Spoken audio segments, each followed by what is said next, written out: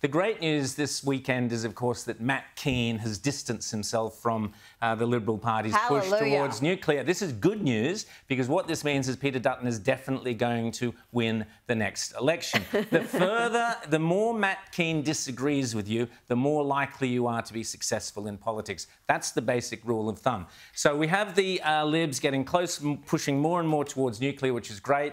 The next election, hopefully, will be a very, very clear choice for the people of Australia, and they will make this choice based on either you go nuclear to wealth and prosperity and cheap electricity, cheap energy, and a booming economy, or you pursue this madness of renewables, which means blackouts, which means uh, money down the drain, soaring uh, uh, bills for your uh, electricity prices, and so on. That's the choice for Australia nuclear versus renewables. Fantastic. Bring it on because this will put Peter Dutton in the lodge, in my opinion, Rita.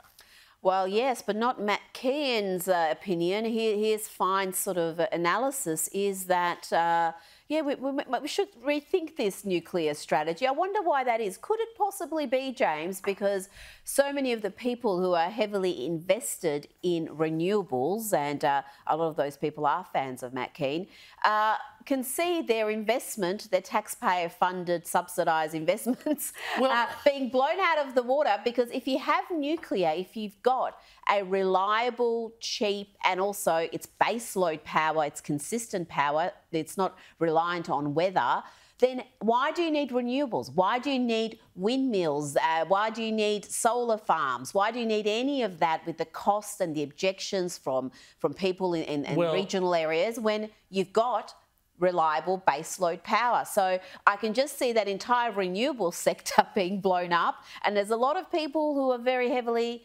invested in that sector. There are, and there's a few interesting points on this. I mean, you know, this week there was this big scandal at the, uh, not scandal, but just sort of big kerfuffle, I guess you'd say, at the beginning of the week when it took three ministers and two Dassault Falcon jets to fly up to the Hunter Valley to read a press release. So you know, this is pretty amazing, all about global warming. And I thought that was pretty interesting. But what they were talking about, though, was a billion dollar fund to get a solar panel industry started in uh, Australia. And that involves people like AGL, Mike Cannon-Brookes, uh, Malcolm Turnbull, I think, is involved with this as well.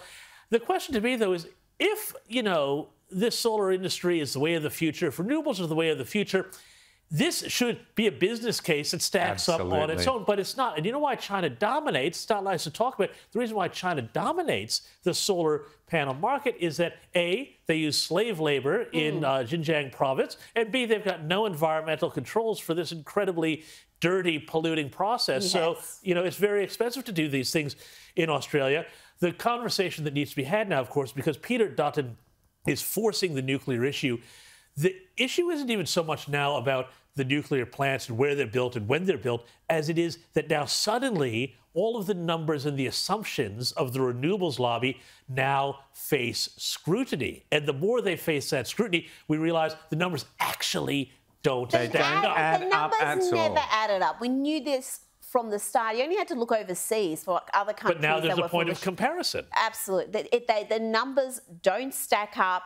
The they never think about what comes next. And they're just finding that out with EVs, where they just thought there's going to be this explosive growth in EV demand. Everyone's going to be driving EVs. Now they're discovering, oh, wait, once the warranty on the battery uh, runs out, these cars have zero value. No one wants to buy a car that potentially you'll have to spend 20, 30, 40,000 to replace the battery. So they never sort of even think five to 10 years down the track, let alone 20 or 50 years this, where they're coming up with this net zero lunacy. Bring on this election. The Teals will be destroyed. Uh, Labor will be out. This is the issue nuclear versus renewables, and nuclear will win. That's my prediction.